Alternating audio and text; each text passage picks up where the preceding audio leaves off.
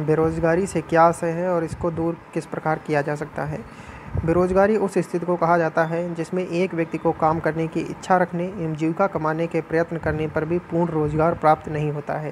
बेरोजगारी वह दशा है जिसमें शारीरिक रूप से स्वस्थ एवं समर्थ व्यक्ति को जो कार्य करने की इच्छा भी रखता है, प्रचलित मजदूरी पर काम नहीं मिलता है।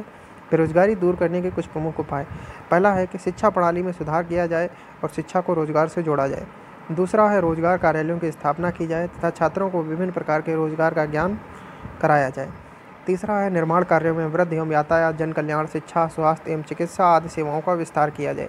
चौथा है किसानों को उन्नत जाति के बीज, फ़सल रक्षक दवाइयाँ देकर सघन कृषि में एक से अधिक फ़सलें बोने की सुविधाएँ देकर सघन कृषि हेतु प्रोत्साहित कर मौसमी बेरोजगारी को दूर किया जा सकता है।